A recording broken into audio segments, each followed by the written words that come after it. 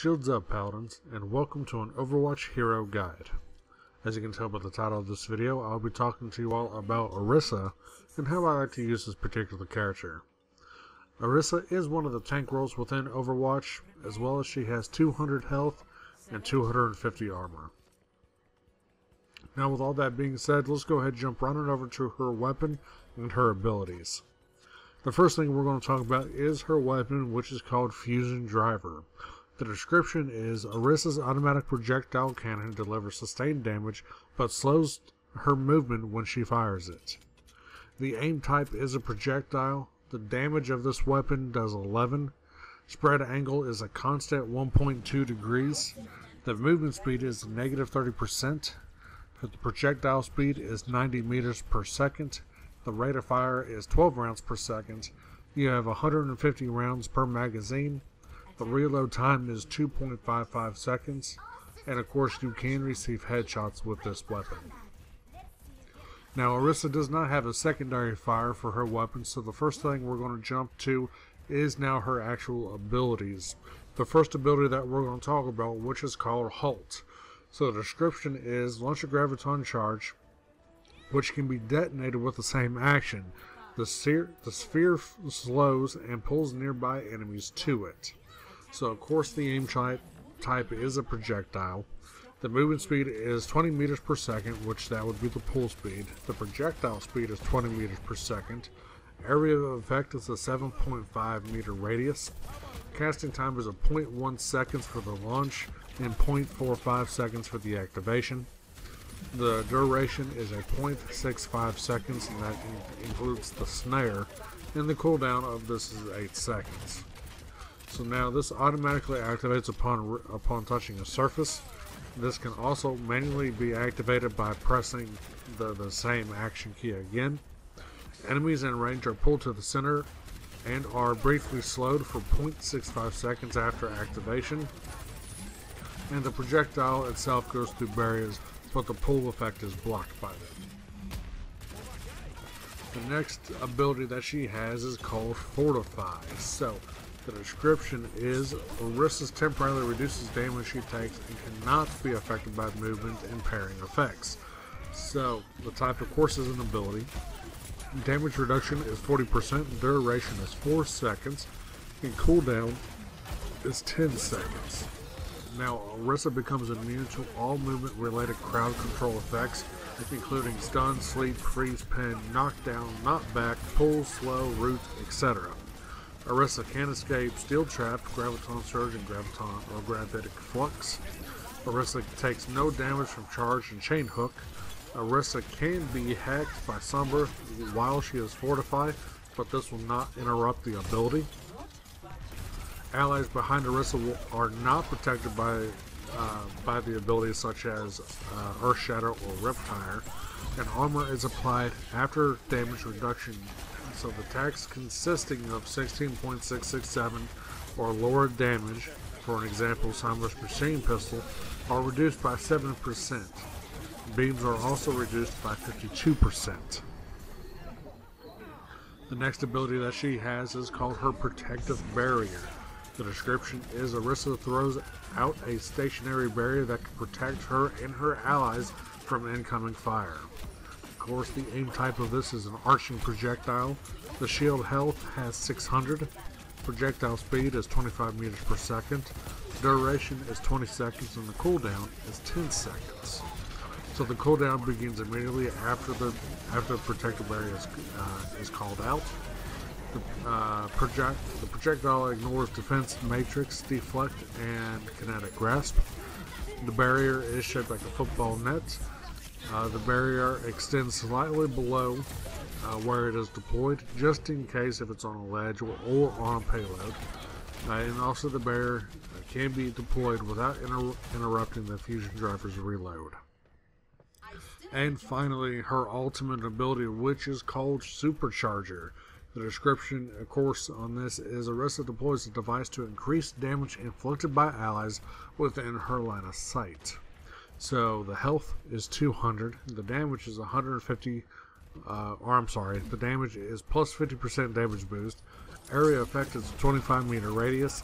casting time is 1 second, duration is 15 seconds, and the ultimate cost is 1,680 points. Now, Orisa passively generates 1% ult charge for every 3.36 seconds. Enemy barriers break the line of sight. The effect lingers for 1 second if line of sight is broken or if the player is out of range. And this can be hacked by Sombra, which disables it for 10 seconds. So that's all of her abilities and her weapon in the descriptions and all that fun stuff. So the actual strategy or the actual strength or weakness that I would say Orisa has, and she's got a lot of strengths for one. Uh, in my in my opinion, Orisa is what I would consider to be almost like an anchor tank. She's one of those people that, or that's really, you know, the, her team will get the most benefit when grouping or coordinating around her. The fusion driver's cannon shell is a projectile on one hand and it has travel time, but on the other hand it has a damage fall or it has no damage fall off. So this makes it useful against enemies at long range, providing that you as the player can properly lead the shots if the enemy is moving. Now her protective barrier is best used on checkpoints and, and also to suppress enemies. Orisa can use Halt to pull enemies out of position or coordinate with the allies' abilities to force the enemy into a vulnerable position that will lead to their deaths, much like Zarya's ultimate Graviton Surge. Fortify really has no down downside to it apart from being a hard counter uh, by Roadhog's whole hog. She can freely use it to increase her tanking power. Her supercharger also increases the damage output of her and her allies but the device itself can be destroyed, so that's also one of the weaknesses to her. But with all this being said, Orisa has a strong front-facing defense, but as she is very, very weak to flankers who can get behind her due to her low mobility.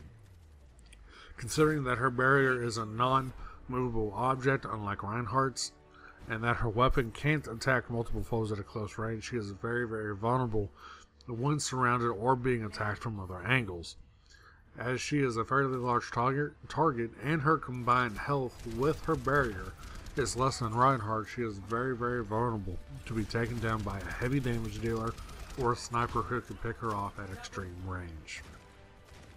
So that would be how I would like to use Orisa in a nutshell. Um, stay behind the barrier as much as you can. That's pretty much the, about the gist of it. Also have a team that is uh, that understands that you have a strong, a strong uh, forward game, but a very, very weak rear. Um, whenever someone can flank you, as in Reaper, uh, Genji, or many other characters that can outflank Orisa, um, and also whenever she gets surrounded, as she can only focus down one target at a time. Now, you can also use Halt. Uh, specifically, if you're playing with a group of people or just a buddy, you know, you can use Halt to go ahead, suck them out. Maybe they're hiding behind a wall or anything like that. You know, use Halt to get them out of the way. Reinhardt can do his um, his uh, hammer hammer down, his earth shatter is what it is. Uh, or you know, you can just get them out of the, get them behind cover and let the team focus them down. Um, that's one of the great things about about Halt. Also, if you're good enough, you can also use Halt to pull enemies off and get some environmental kills uh, as well. So that is always a plus there for that. So that's kind of how I would use Orisa in a nutshell. Is that you know I usually like to play. Of course, you're, you're a tank. You're supposed to be up there in front, uh, but also I kind of like to try to corner myself a little bit, or have a corner that I can run to, uh, to kind of watch. You know, make sure I can't get flanked you know, and everyone is in front of me. Now, there's only so much you can do whenever there's so many people in front of you as Orisa, but the kicker with her is that she, since her weapon doesn't have any fall off damage, you can pretty much be almost almost deadly as a sniper with her, with how pinpointed she can be. So hopefully I answered a lot of questions, comments, concerns as Orisa, and if I did, definitely drop a like. If I didn't, leave a comment down below on what's uh, you think something that I missed is, and I'll definitely reply back as quick as I can. So thank you guys, and hope you enjoyed the video. and I'll see you in the next one.